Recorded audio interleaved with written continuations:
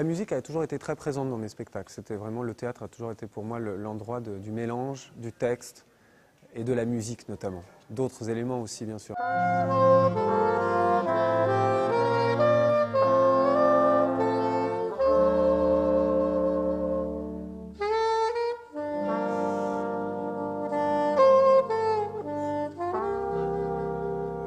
J'ai déjà fait deux spectacles euh, au Théâtre de l'Union. Euh, dans le premier, l'européenne, c'était une évocation euh, eh ben, du fonctionnement des institutions européennes, un peu en panne. Et c'était une sorte de comédie musicale aussi. Alors là, il y avait beaucoup de chants, il y avait des passages même qui étaient entièrement chantés. Et puis l'autre, c'était quelque chose de beaucoup plus intime, où j'étais tout seul sur scène, mais aussi avec une guitare électrique, qui était une évocation des colonies de vacances créées par les juifs communistes en France des années 50 jusqu'à la chute du mur de Berlin. Voilà. Et ça aussi, c'était une espèce de petit poème, alors beaucoup plus intime, mais qui évoquait un pan, un pan de l'histoire euh, et qui ressemblait à une, sorte de petit, de petit, cabaret du souvenir. Comme ça.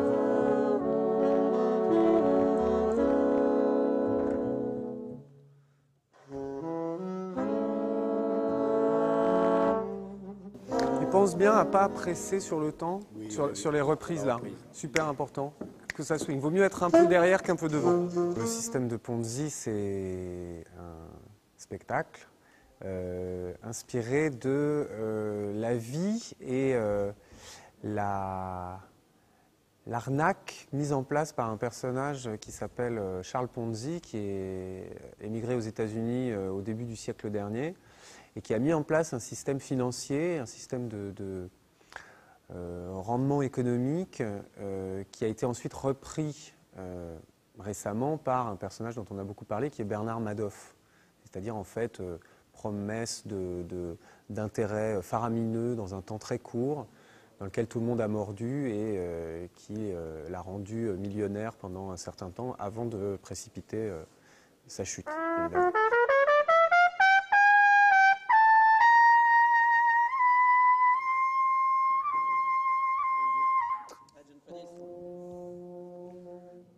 J'avais euh, envie d'aborder les questions qui sont assez euh, urgentes et prégnantes aujourd'hui, euh, qui ont à voir avec la crise, avec la, dérive financière généralisée, ce, monde du crédit très très inquiétant aussi bien pour les individus que pour les États, dont on ne sait pas très bien d'ailleurs où il nous conduit, mais qui constitue une sorte de de menaces ou de, fatalités qui pèsent, qui pèsent au-dessus de nous sans qu'on sache très bien comment, intervenir.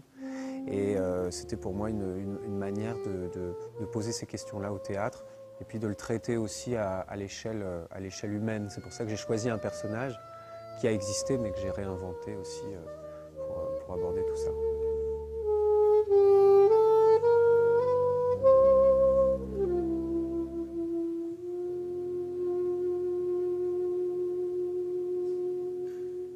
Le fond de la chose, il est, peut-être davantage dans euh, l'interrogation humaine plutôt que dans euh, le, point de vue politique. Euh, le point de départ est politique, le discours l'est aussi indéniablement, mais à l'arrivée, on découvre des choses qui ont à voir avec l'esprit humain, avec l'âme humaine, et, et c'est ça finalement que le théâtre nous permet d'approcher. Et puis je vais racheter leurs parts, qui ne vaudront plus rien, et quand elles remonteront, je les revendrai. Mais surtout, je vais être un bon patriote. Le gouvernement cherche acquéreur de plusieurs milliers de navires désaffectés, construits pour la Grande Guerre. Et on a Disons que c'est une forme très musicale, c'est même la manière dont ça fonctionne sur le plateau. Il y a une sorte d'organisation de, tout ça, parce qu'il y a beaucoup de monde sur le plateau, mais il y a aussi beaucoup, beaucoup de personnages à, à incarner, à évoquer, euh, des périodes très longues, des espaces euh, très étendus. On passe d'un continent à l'autre, on sillonne euh, le continent américain. et pour ça, il faut arriver à trouver une forme qui ne soit pas réaliste, qui ne soit pas une reconstitution. Et la musique, ça nous, ça nous aide beaucoup parce que justement, ça, ça donne le mouvement et ça permet de faire passer des choses sans qu'on les représente de manière trop trop euh, mimétique. Quoi.